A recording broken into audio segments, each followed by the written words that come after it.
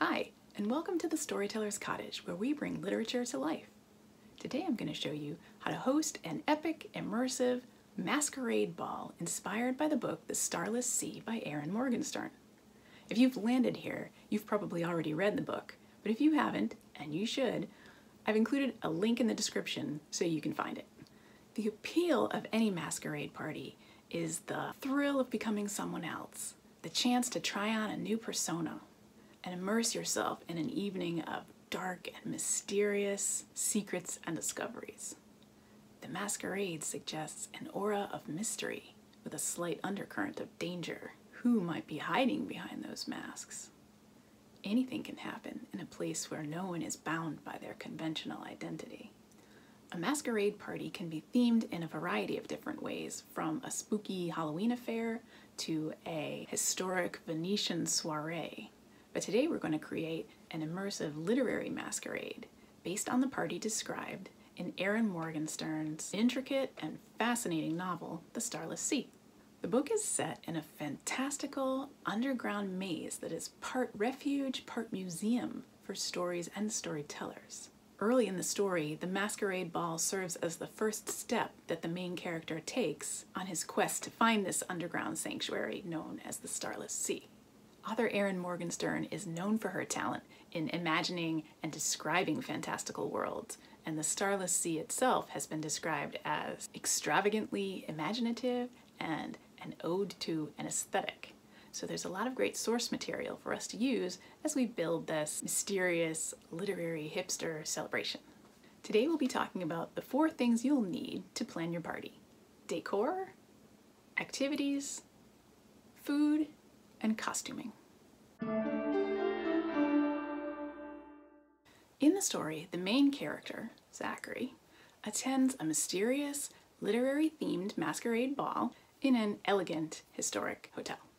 The dress code is formal, and most guests are dressed like a literary character or an author. The space is dark, but it's loud because there are a lot of guests trying to talk over the dance music.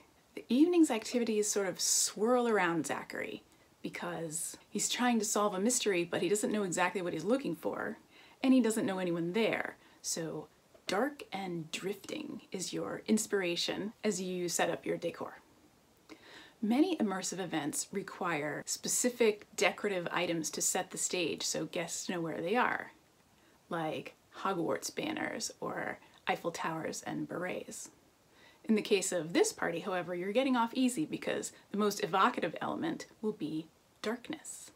Do a dry run for your setup at night and try turning off all your electric lights and using just candles, battery operated candles for your light. This will either work perfectly or be a complete disaster, so you'll want to know this ahead of time. Maybe you need to get more candles or you might need to set up some small table lamps for some extra light or use your dimmers for your overhead lights but you want to make sure people can actually still see. The atmosphere you're going for is curiously mysterious, not creepily petrifying. Add some mysterious music and you're on your way. Now, the Starless Sea has been described as a love letter to stories and their power. So the next element of your decor will be books. Pile up books everywhere you can possibly fit them. And if you need more, head over to your local thrift shop and pick up some of those really nice old ones for a dollar a piece. Put them on tables and next to chairs and under the trays of food and even outside your front door. Put them in the bathroom. Everywhere your guests look, there will be a subconscious message that stories are all around us. Now you can start to add a few specific nods to the Starless Sea. These will be subtle because mystery is all about nuance and innuendo. In the story, the underground library is filled to overflowing with stories of all types, from huge paintings to stories written on strips of paper and folded into little stars. They're also inscribed onto skin, pressed onto rose petals, laid in tiles on the floor, carved into crystal and hung from chandeliers, sculpted out of wax, knit into wool, shaped into honeycomb by trained bees, and more. But right now, let's focus on the things that are actually accessible to us. Starting with paintings. You can actually pick up a few expressive looking paintings while you're at the thrift shop. This one cost me all of $5. place them around, and then you can focus on hiding a few more stories in plain sight. Grab a really old book that you don't mind ruining, and even an old encyclopedia will do, and cut out some pages to fold into stars. There's a link in the description if you don't know how to do this. The old pages can line a tray for drinks or, or cover your votive candle holders. You can make a paper chain out of book pages and tack it up like a garland around some of your more important doors. Doors figure prominently in this book, as you know. If you can get your hands on a typewriter, that can be the basis of a fantastic literary still life. Or you can use any other storytelling tools like pens, pencils, paintbrushes in various containers to reference the creation of stories. Next, add a few hints at the three major icons that Zachary chases throughout the book the key, the sword, and the bee. You should definitely include these images on your invitation to the party and also on your front door. But in addition to the obvious graphics, you can also hide a few for your guests to find when they least expect it. Perhaps a few keys scattered around the glasses at the bar, or a sword on the soap in the bathroom. You can also add some understated and whimsical nods to the animals that are mentioned so often in the book. Specifically, the owls that come up and the cats that appear everywhere. This party is supposed to be at a hotel, so you're not trying to replicate the Starless Sea, but just to make your guests think about some of the other elements in the book, kind of like hidden Mickeys at Disney World. Grab a little souvenir figure or even a stuffed animal and just place it somewhere almost out of the way, but where guests will eventually see it and chuckle at the inside joke. If you want, you might even want to reference a few other elements that repeat during the story, like door handles, or the dollhouse, or even time. But don't feel like you have to go out of your way to buy anything special, and don't feel like you have to include all of these items. Just use what you already have and keep it subtle.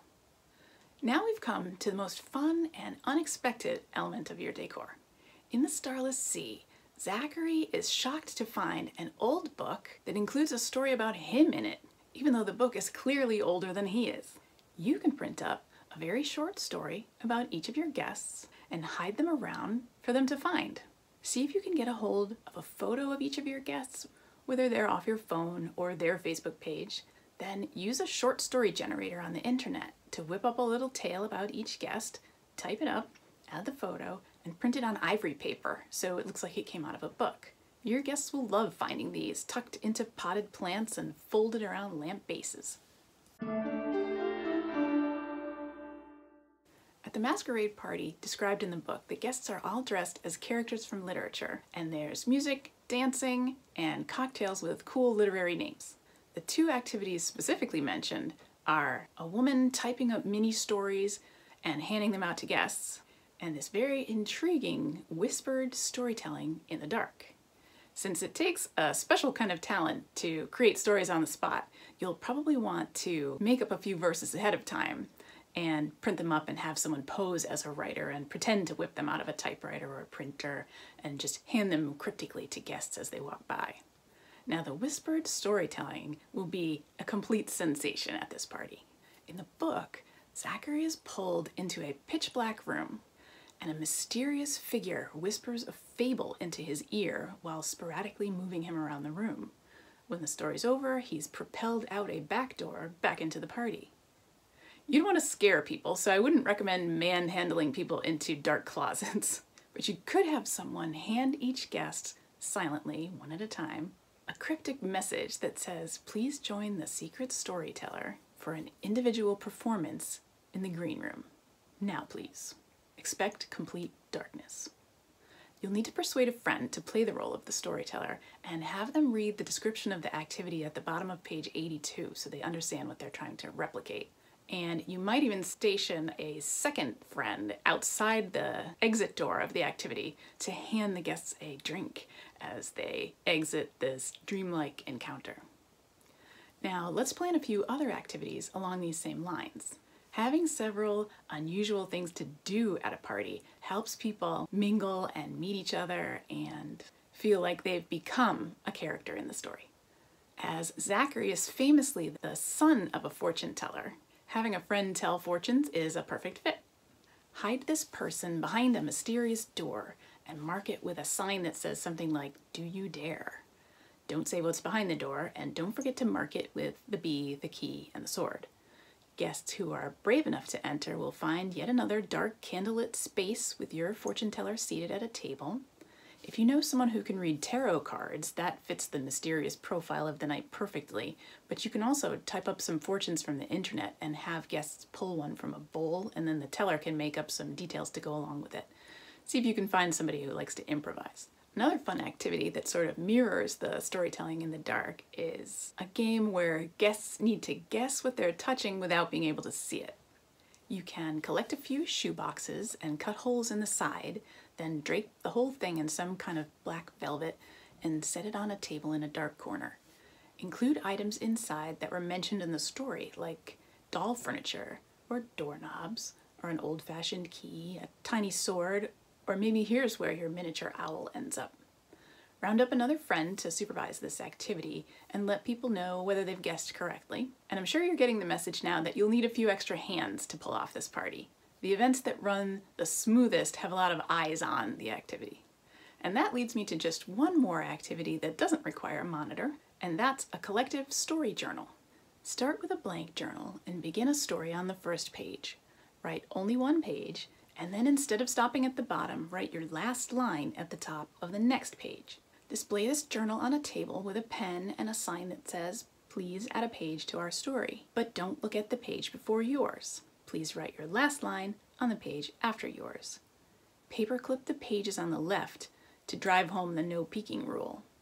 Each guest can come along and write one page of the story based off the line at the top of their page. At the end of the night, you can gather everyone together and read the whole thing by candlelight. Won't that be fun? Now, what will you serve at this party? We know Zachary likes retro cocktails. And in fact, that's all that's mentioned in the way of refreshment in the description of this party. He drinks something called a drowning Ophelia, made with gin and lemon and fennel syrup and served with a sprig of rosemary and a napkin with a Hamlet quote on it. There are also champagne glasses circulating with ribbons that say, drink me. Penguin Random House Books, the publisher of The Starless Sea, actually posted recipes for several of the cocktails mentioned in the book, and I'll include a link to that in the description as well. You can try some of these, or scour the internet for other fancy cocktail recipes, or make your favorites and just give them new literary names. Whatever direction you choose to go, print up little cards that list the name of each drink and its ingredients, and either make little table tents out of them or set them in plastic frames at your bar so guests know what they're drinking. Since this whole evening is dark and mysterious, you could potentially consider adding another layer of magic to your drinks with dry ice, which you can buy at Walmart or Costco. You do need to be careful with this though, because you can safely put dry ice into cocktails, but you can't drink it. It actually sinks to the bottom. There's a link in the description that explains everything. Now, what will you be feeding your guests to absorb all that alcohol? It should be something mysterious that isn't immediately obvious what kind of food it contains, such as little turnovers made of phyllo dough wrapped into triangles. They'll be perfectly starchy to balance off the drinks, and you can put any number of fillings inside. If you're from a Middle Eastern background, you may be familiar with baking Greek spanakopita or Armenian cheese eggs. There's a trick to working with phyllo dough, so if you haven't done it before, don't make this party your inaugural run. Bake these from scratch only if you know what you're doing. Otherwise, there are plenty of frozen savory turnovers in your grocery store freezer that you can use. You can also make an assortment of fancy toppings for slices of French bread, known as crostini. And you can layer up things like goat cheese, chopped marinated beets, an orange slice, and a piece of mint, or cream cheese, honey, and sea salt. I'll also include a link in the description to a great post about 50 easy crostini toppers from the Food Network. And now that we've mentioned honey, this item occurs frequently throughout this book and must be included somewhere in your drinks or food or both. Bee-shaped cookies are mentioned in the book, but you could also serve baklava, which is drenched in honey, or little cups with half a grilled peach or a canned pear, a scoop of mascarpone cheese, and a drizzle of honey. A great subtle nod to the story is a card describing the food signed The Kitchen featuring a bee. Lastly, let's talk about the costumes for your masquerade.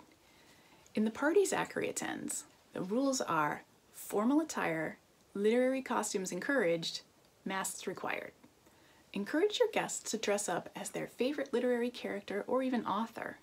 There are so many to choose from, and characters are generally easy to find clothes for. If you have guests who are worried that someone else has already chosen their favorite character, you can ask everyone to let you know who they're coming as so you can flag the duplicates.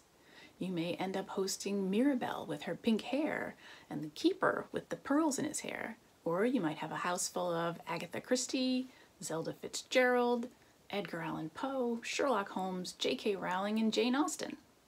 Whoever attends, the mix of recognizable figures will add a lot of energy to the party. And since masks are required, and these are the ones for your eyes, not for your mouth, make sure to have a few extra on hand for people who forget theirs or just don't have any. Won't it be fun when we can have friends over again without worrying about getting sick? For now, we can dream and plan for the future, kind of like gardeners order seeds and plan their spring gardens in the winter. Someday we'll all be together again. Now one last touch. On the inside of your front door, post a little card that says, this is not where the story ends, this is where the story begins. When your guests leave, this will be the last thing they see. And that's all you need to plan an epic, immersive masquerade ball inspired by the Starless Sea. Good luck, have a fantastic time, and let me know in the comments how it went, especially if you added something that I haven't mentioned here. Thanks for watching.